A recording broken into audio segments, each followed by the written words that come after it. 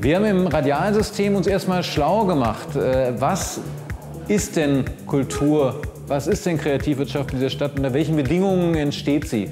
Und äh, worauf müssen wir achten? Und dann haben wir darum gestritten in Arbeitsgruppen, was die besten Konzepte sein können.